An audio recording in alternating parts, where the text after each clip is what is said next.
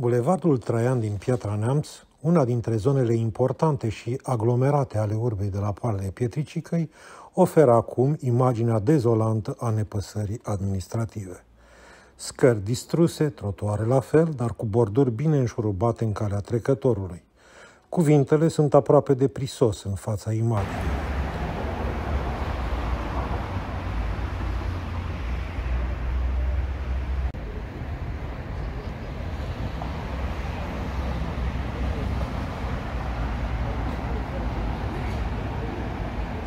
Că în zonă avem instituții importante, precum finanțele publice, Direcția pentru Cultură, Registrul Comerțului, bănci și magazine, nu mai contează.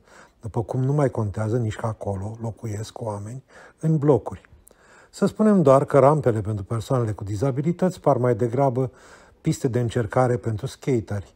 Timp de peste 8 ani, nimeni nu a făcut nimic pentru că nu erau bani. Acum au început cârpeli până la mare asfaltare pentru care s-au mai împrumutat peste 16 milioane de lei.